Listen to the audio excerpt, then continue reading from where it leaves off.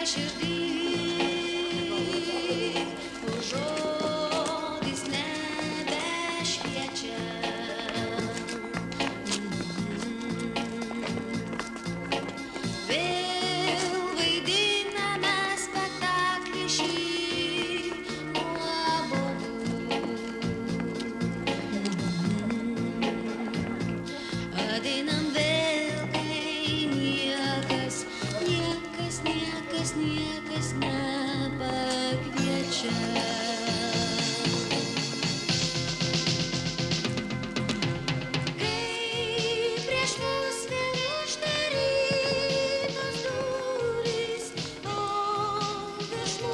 Война пана! Андрю!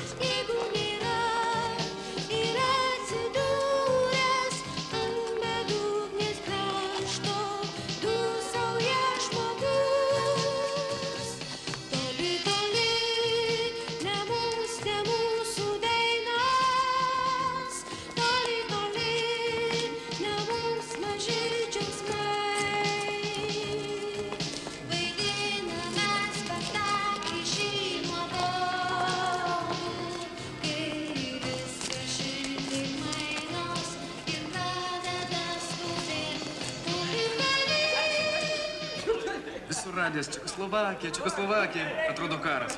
O rusai tyli. Sako, čekai su gėlėm sutinka. Europa yra Europa. Klausyk, į ką jin panaši?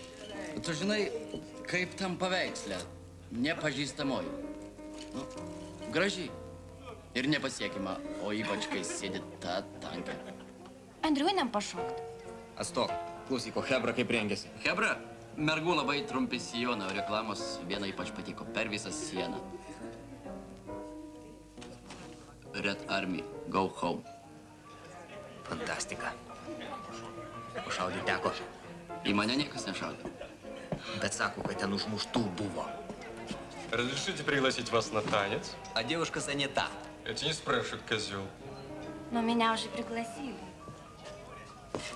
Einam. Следующий танец за мной. Учти. Tavęs laukia kas nors, rašė laiškus. Rašė. Klasės auklėtoja rašė. Nuobodu, nuobodu, nuobodu, nuobodu, nuobodu. Koks karas prasidėtų, ar ką? Po tą patį egzempliorių. Koks tavo mėgiamiausias miestas? Joks.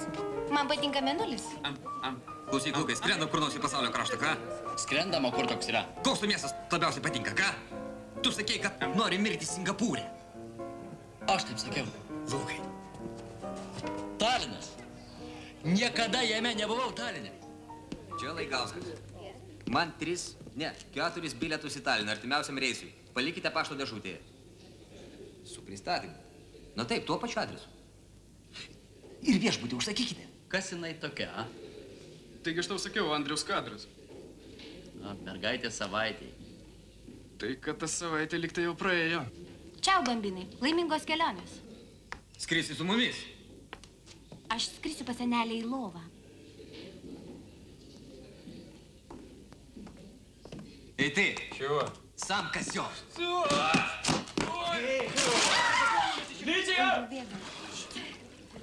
Tu važiuosi su manim. Gerai, bet aš turiu bent persirengti.